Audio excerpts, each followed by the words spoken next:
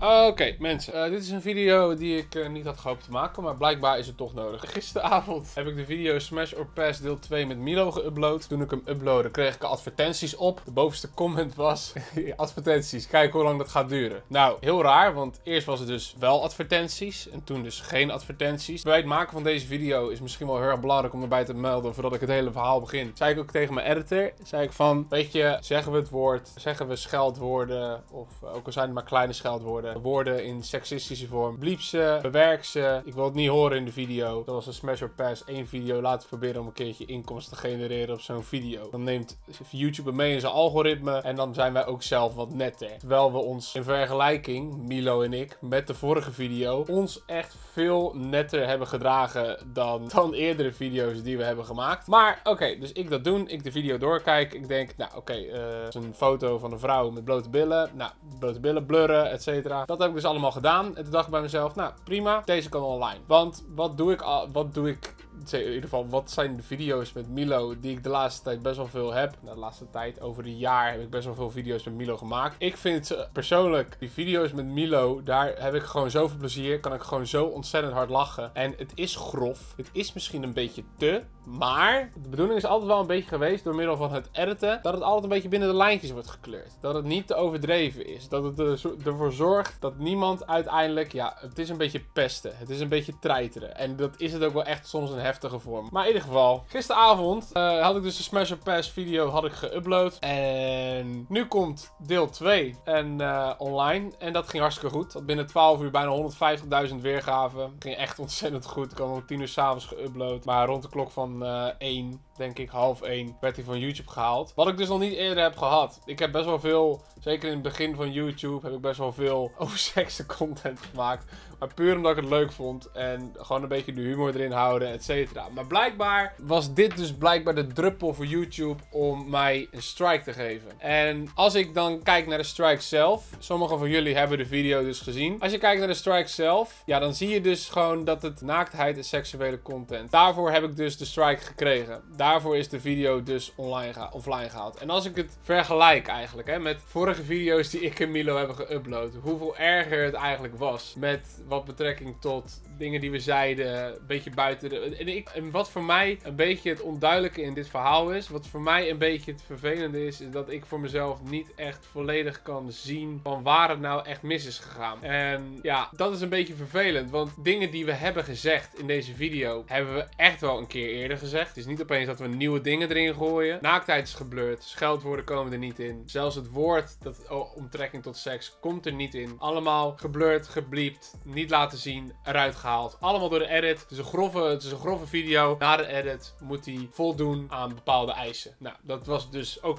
dit proces met deze video. Hij was niet erger in mijn ogen dan voorgaande video's. Maar ja, het kan natuurlijk zo zijn dat je geen inkomsten krijgt op zo'n video. YouTube is een van mijn inkomstenbronnen. Voor mij is het ontzettend belangrijk. Daardoor heb ik jullie leren kennen. Daardoor leren jullie mij kennen. Het is wel echt het begin van mij geweest. En ik vind het ontzettend leuk om te doen. Nou, ah, fijn. Maar dat ik dan geen inkomsten krijg op zo'n video, ga ik stiekem eigenlijk al een klein beetje vanuit. Dit is bij mij wel, altijd wel iets van: hey, ik probeer het gewoon. Wordt het geaccepteerd? Prima. Wordt het niet geaccepteerd? Pleuren we het eraf. Zo simpel is het. Dan, dan, dan, dan geen inkomsten genereren. Dan snap ik dat het sommige adverteerders niet willen, willen adverteren. En dan snap ik het volledig. Ondanks het feit dat ik ervan overtuigd, overtuigd was dat ik had geen van bovenstaande ingevuld bij inkomsten genereren. Want nu moet je dat allemaal doen van: hey, komt er dit in voor? Komt er dit in voor? Komt dit in voor? Komt dat er niet in voor? Dan kan je inkomsten genereren doen. Nou, dat heb ik dus gedaan. Dat komt allemaal niet in voor, omdat ik dus alles gebliept had. Maar blijkbaar is het dus zo erg dat het en geen inkomsten genereren is. En dat YouTube dus heeft van, oké, we moeten hem offline halen. Wat twee dingen kan betekenen. Je kan gestriked zijn door iemand anders. Wat ik wel had gezien volgens mij. Eh, want ik ben bij YouTube, of ik ben bij Raoul geweest vanochtend voor een video vanmiddag. Maar daar had ik het wel gezien. Maar dat heb ik dus niet gezien. En ehm, de andere kant is het beleid voor naaktheid en seksuele content. De andere kant is, ja, wat kan ik gezegd hebben? Of wat kan erin staan? Mijn, mijn, mijn content is niet voor onder de 12. Dat, dat heb ik gewoon aangegeven bij YouTube. Dat is altijd al zo geweest. Maar wat kan het dan zijn dat uiteindelijk mijn video offline is gehaald? Dat vragen jullie waarschijnlijk ook af. En het erge daarvan is, ik weet het eigenlijk zelf ook niet. Dat maakt het wel heel erg lastig. Dus ik ga zeker bezwaar maken. Ja, ik hoop ook dat YouTube dit ziet. Kijk, als je het vergelijkt nogmaals met vorige video's. Ja, wa- wat is dan precies de grens? En is het omdat ik Fred van Leer en Nicky, dat ik zei van Smash or Pass? Ik snap, ik snap het niet. Want het concept Smash or Pass, ook bij de vorige video bij mij, maar ook bij heel veel andere YouTubers, is gewoon een welbekend concept. Raoul die zei ook bijvoorbeeld tegen me, maar ja, maar dat je dan een vrouw blurt, maar dat je wel alles naakt ziet behalve de billen. Dan denk ik, ja. Maar als je bijvoorbeeld kijkt naar die Emily Black en wat zij allemaal op haar eh, OnlyFans pagina heeft en wat zij dan voor foto's maakt met strip FIFA, bla bla bla, dan denk ik, hè? Maar wa- wat is dan precies hetgene wat, wat ik dan verkeerd heb gedaan? Ik moet wel eerlijk zeggen, ik zit hier wel een klein beetje mee, want eh, ik had het ook op Twitter gegooid en daar wordt dan gelijk gegooid, ja,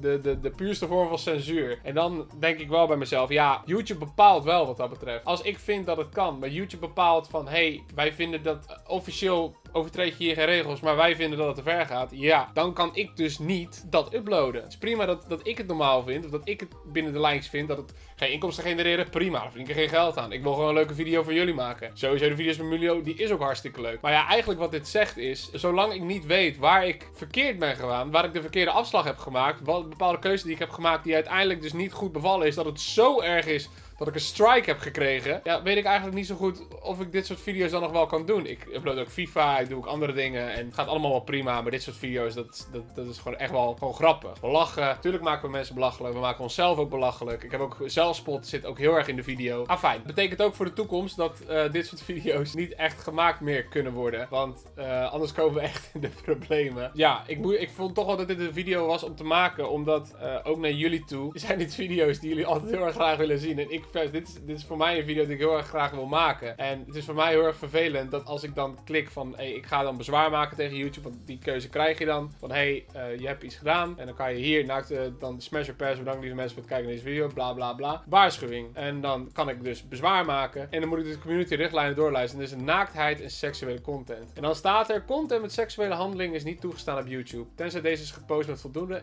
educatieve, informatieve, artistieke of wetenschappelijke context. Af en toe maken we uitzonderingen voor content die met een duidelijk doel is gepost. En waarbij voldoende en geschikte context, context wordt geboden. Nou, ik ga hier dus bezwaar op maken. Omdat ik wil weten waar het precies aan ligt. Er komen hier geen naakte vrouwen in voor. Dat is allemaal geblurred. Eh, Het enige wat je ziet is billen, maar er zit wel gewoon een broek aan. Dus dan denk ik wel van, ja, maar hoeveel vrouwen hebben dat wat die in een string rondlopen? Ik denk, wat is hierin precies het verschil dan? En waarin is het dan precies dat ik, dat ik fout zit? Ik houd jullie wel op de hoogte, maar ik vond het even belangrijk dat ik dit soort video's ook even voor jullie maak. Zodat jullie weten wat er allemaal gaande is. Want ik kreeg alweer, ja, als je mijn Twitter reacties ziet, het Frank Slotta, dan zie je ook de reacties die daar eh, worden gemaakt. Ehm, ik weet zelf ook niet precies waar ik de verkeerde afslag heb gemaakt. En dat is voor mij even het allerbelangrijkste. Zodat ik ervoor kan zorgen in de toekomst dat dat niet gebeurt. En misschien kan ik dan wel in aangepaste vorm opnieuw zo'n video maken. En dat is uiteindelijk wel het doel. Het is uiteindelijk leuk om zulke video's te maken. Geen inkomsten genereren. Verdien ik er geen geld op. Heb ik wel een leuke video, kunnen jullie naar een leuke video kijken. Dat is even het belangrijkste. Ik heb wel, eh, eh, dit is gewoon even iets wat ik eh, wilde vertellen aan jullie. Jullie zijn hele andere video's gewend, maar dit is wel even belangrijk. Dat dit soort video's, dat jullie wel een beetje weten wat er gebeurt. Want dit gaat wel een heel groot impact hebben op mijn YouTube kanaal. Oké, ik heb ook even nagedacht over een eventueel, eventuele oplossing voor dit probleem. Ik zou ook natuurlijk een OnlyFans kanaal kunnen organiseren, kunnen creëren. En daar deze video's op knallen. Maken we er een wekelijkse rubriek van. En daar knal ik dan dit soort video's op. Of een extern iets waar het echt puur voor leden is. Maar ja, als het dan voor leden is van YouTube, kan het dan alsnog gestrikt worden. Als het, een, als het een video is die alleen voor abonnees op mij zijn die ook lid zijn van mijn kanaal. Dan moet ik even gaan uitzoeken. In ieder geval mensen, bedankt voor het kijken. Dit was even belangrijk voor mij om te doen. En eh, het gaat jullie goed. En ja,